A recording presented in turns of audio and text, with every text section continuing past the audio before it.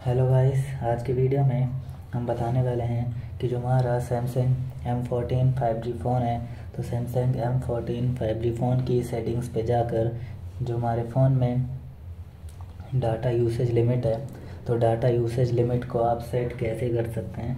Samsung M fourteen five G phone की settings पे जाकर और कैसे आप यूसेज लिमिट को सेट कर सकते हैं Samsung M fourteen five G phone में तो आज हम वीडियो में बताने वाले हैं कि डाटा यूसेज लिमिट को आप सेट कैसे कर पाएँगे और कैसे अपने फ़ोन में लिमिट लगा सकते हैं तो आज हम बताने वाले हैं।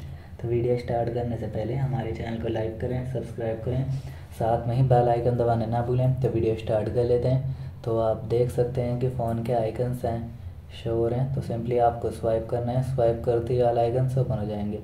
फिर आपको सेटिंग्स पे जाना और क्लिक करते ही फ़ोन की सेटिंग से ओपन हो जाएगी। ओपन होते ही हमारे पास ऑप्शन आता है कि होम स्क्रीन क्लॉक टाइमिंग को सेट कैसे करेंगे। तो आप देख सकते हैं कि आपके पास ये ऑप्शन आ रहा है।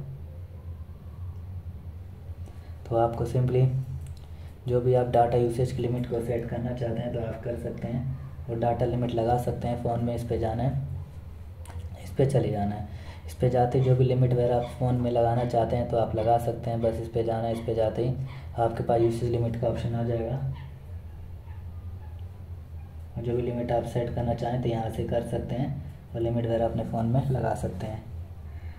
तो इस तरीके से डाटा यूसेज की लिमिट को यहाँ से सेट करना चाहें, कर सकते हैं।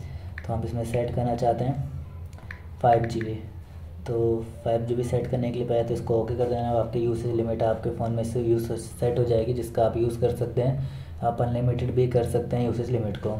तो इस तरह से डाटा यूसेज लिमिट को सेट कर सकते हैं सैमसंग फ़ोन में। तो वीडियो अच्छी लगी तो लाइक करें सब्सक्राइब करें और साथ में ही बेल आइकन दबाना ना भूलें। थैंक यू नेक्स्ट वीडियो के लिए इंतज़ार करें।